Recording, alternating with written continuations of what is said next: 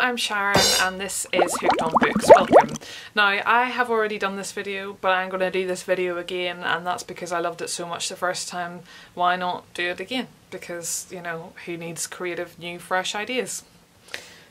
It's the five star prediction video, round two. Now I recently read all the books that I predicted were going to be five stars and I did a video of them so I may well do that again in the future. Um, I'm not necessarily planning on picking these up straight away but who knows I might do. Um, but let me get on to the books and I'll tell you what I think are going to be five star reads for me. First up is Tamara Drewe by Posy Simmonds. Um, now I read Cassandra Darke, which is her most recent graphic novel. Um, I read that in January this year and I absolutely loved it and it absolutely has got me back into graphic novels again because I kind of haven't read any for a while and it kind of reminded me what I like in graphic novels. So I like my literary graphic novels, I like my memoir graphic novels and I found that Cassandra Darke was so fucking brilliant that I just needed to read more from from the same person, which I, I very rarely do that. Um, so that says a lot for that one. Um, so Cassandra Darke, I just what I loved about it is that the characters were so unlikable, but there was so much depth to them. And I sometimes, you know, I love characters in graphic novels a lot of the time. I love their kind of personality and and how they're presented and stuff.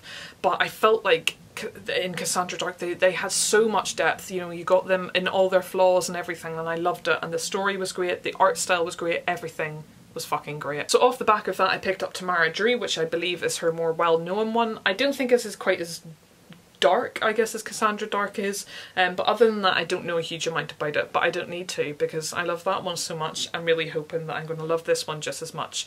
Um, for me, graphic novels, if the art style is strong enough, then it will bump it up. If I read something that's a really good narrative but it's not got a good art style, then I probably won't like it as much. Um, which is interesting because in books a lot of the time the, the language used um, the way it's written is usually really important to me.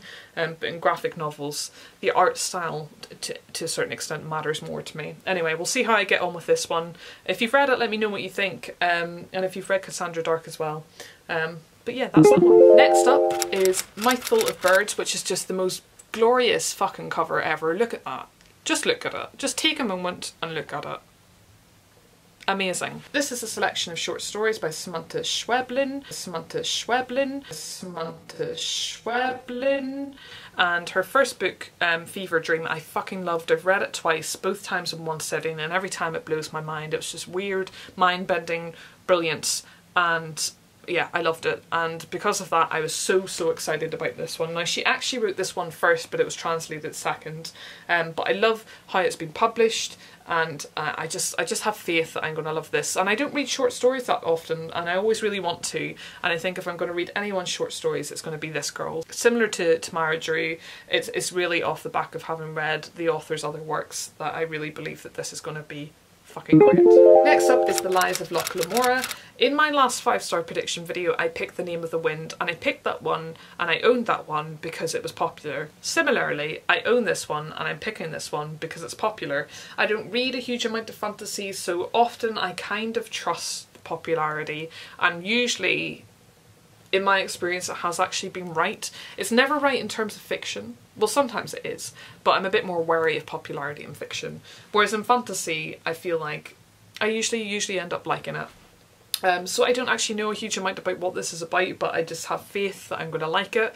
Um, if you watch my last five star prediction video, um, you will have found out that I, I, that I did give five stars to the Name of the Wind, so I'm really hoping that that's going to happen with this one too. Next up, we've got My Year of Rest and Relaxation. Now, I read Eileen by the same author a couple of years ago when it was shortlisted for the Booker. Now, I didn't necessarily think it was Booker worthy, but I did really enjoy it. The character was really unlikable, um, but because of that, it was such a well drawn character and a character that I, I, you know, I still really remember. Um, and I, off the back of that, I did think I would like to read more from that author.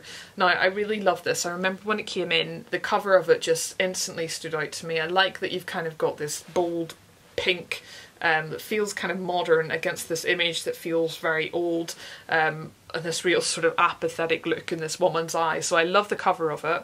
And I what what I know of this is it's basically about a woman who spends her life in bed and that it's a real sort of commentary on alienation and there's some drugs and psychiatry involved in here as well. Um, my colleague who I used to work with just texted me the other week actually and said that I would love this, he'd just finished it and we've got very similar tastes. So based on that, I think that I'm going to love it. It's a great cover, great premise, and someone that I trust has said that I'm going to love it. Therefore, I believe that this is going to be a five star. My camera has died and the card has been full about 10 million times filming this video, so it's probably a bit of a mess, but there you go. Hello, it's Sharon from the future. I'm very tired. I'm about to go to work. Fuck my life. The final book that I think is going to be five stars is this one, which is Madness Explained, Psychosis and Human Nature. So I quite like my popular psychology books and I think I'm going to really, really enjoy this one. It's quite quite a chunky one um, and I think it's going to be quite interesting looking into psychiatry, looking into what is madness.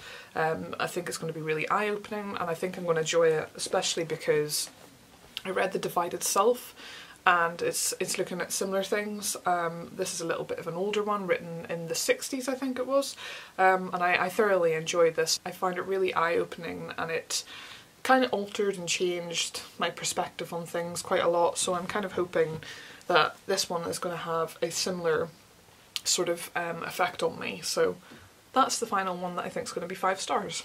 These are the five books that I have predicted that are going to be five star reads for me. If you've read them, if you know of them, if you don't know of them, if you like the look of them, if you don't like the look of them, tell me all your thoughts, all your feelings, everything that's going on.